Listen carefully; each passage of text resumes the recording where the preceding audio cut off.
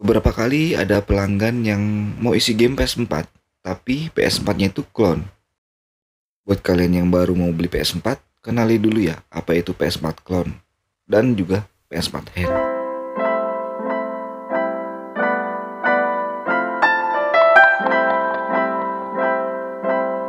Sistem clone dan sistem hand memiliki persamaan ya, keduanya itu nggak bisa main online. Namun sistem hand memiliki lebih banyak keunggulan ya daripada sistem clone. Buat kalian yang mau beli PS4 dan masih bingung PS4 hand atau clone, berikut ya perbedaannya. Oke, langsung saja untuk PS4 hand, ketika nyala pertama kali, gamenya itu akan terkunci seperti ini ya. Jadi kalian harus aktifkan dulu sistem handnya. Dan sistem hand ini eh, nggak uh, cuma satu macam ya. Ada 505 dan 672 yang pengaktifannya itu sama aja mirip dan ada yang 900 dan 1100. Untuk perbedaannya udah pernah saya bahas ya. Nanti cek aja di deskripsi bagi yang belum menyimak. Oke, saya ambil salah satu contoh hand 900 ya. Untuk pengaktifannya seperti ini. Kita masuk browser, kemudian tunggu perintah untuk masukkan dongle USB. Lalu kita sambungkan dan nanti jika ada notif dongle-nya tunggu hilang. Baru tekan oke OK, masuk. Nah seperti itu ya untuk yang 900 Untuk yang 672 505 itu lebih simpel sekali nggak pakai flash disk.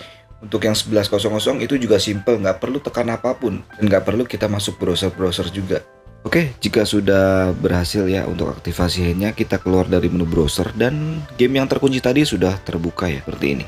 Sedangkan untuk sistem clone, ketika nyala PS pertama kali, gamenya itu langsung terbuka ya, tidak terkunci seperti di sistem hand.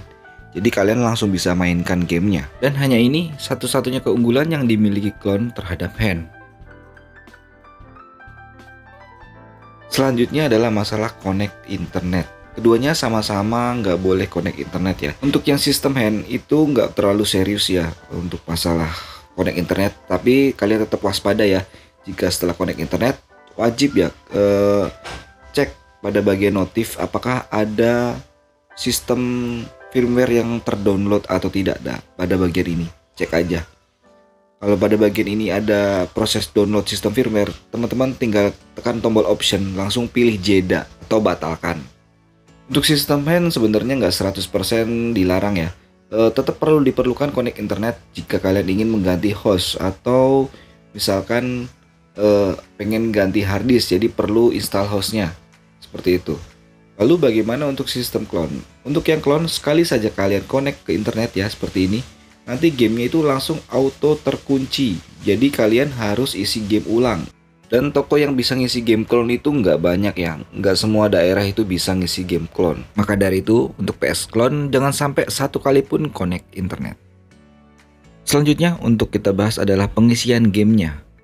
Untuk PS clone agak sulit ya pengisiannya, bahkan di kota saya Indramayu ini uh, hanya beberapa toko yang bisa menerima jasa uh, isi game clone. Itu pun nggak dikerjakan sendiri, tapi dilempar lagi ke kota lain, biasanya di Cirebon ya.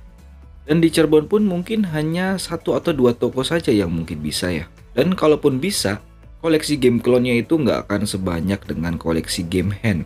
Pastinya nggak enak juga ya kalau ngisi game clone, tapi koleksi gamenya itu nggak banyak ya. Tapi sekedar info ya, jika PS4 kalian itu sudah terlanjur beli dan dapatnya clone, kalau mau isi game yang koleksinya uh, lumayan cukup banyak, setahu saya ada ya di Facebook itu namanya uh, Mas Aziz Noveri. Lalu bagaimana untuk pengisian sistem hand? Untuk yang hand itu lebih mudah ya. Dan hampir semua toko PS itu menyediakan game hand PS4 ini. Dan pengisiannya pun juga nggak perlu bongkar-bongkar PS ya. Kalau untuk yang clone itu untuk pertama kali pengisiannya PS-nya itu harus dibongkar dulu. Jadi harus buka buka segel. Sedangkan untuk yang hand ini nggak perlu bongkar-bongkar segel mesin dan bisa langsung ditunggu juga ya karena pengisian game PS4 itu lebih cepat ya dibanding pengisian game clone. Nah, contohnya seperti di video ini ya. Pengisiannya itu hanya tinggal install aja seperti ini dan tunggu sampai selesai. Cukup mudah ya, jadi gamenya itu taruh di hard eksternal, file PKG-nya kemudian diinstal seperti itu.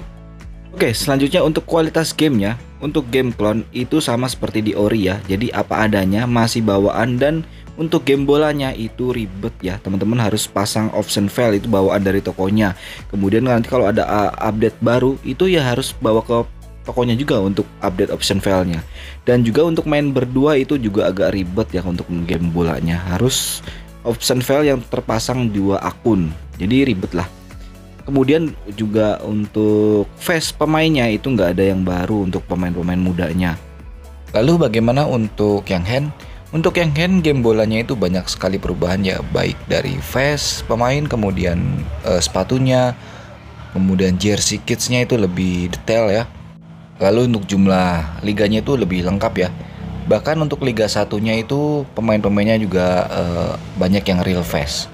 Selain itu juga ada tim-tim yang unik-unik ya. Uh, ada Subasa, ada Jump Force, Dragon Ball dan lain-lain. Uh, bahkan yang terakhir itu ada yang WWE FC ya.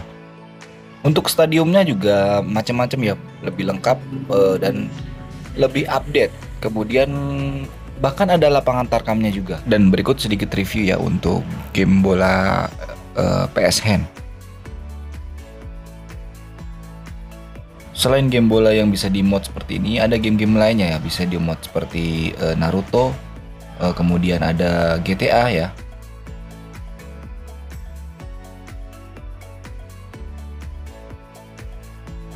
Oke, untuk perbedaan lainnya mungkin ada di kelemahan sistem hand ya. Uh, meskipun jarang, tapi semua sistem hand pasti ngalamin kernel panik, walaupun jarang ya. Dan kalau untuk yang clone itu lebih stabil ya, sama seperti ori, jadi sistemnya itu lebih stabil. Dan perbedaan lainnya seperti harga, karena banyak kekurangan ya untuk yang clone dibanding hand, harganya jadi lebih murah. Dan karena banyak keunggulan, eh, PS hand itu lebih mahal ya dibandingkan ori dan juga yang clone. Oke, jadi itu ya teman-teman untuk perbedaan sistem hand dan clone. Dan teman-teman boleh tambahkan ya untuk informasi yang mungkin terlewat untuk saya sampaikan atau tidak saya ketahui ya. Nanti teman-teman tulis saja di komentar. Oke, itu aja untuk video kali ini. Semoga bisa bermanfaat. Terima kasih yang sudah menyimak video ini sampai akhir. Sampai jumpa lagi di video PS Arena selanjutnya.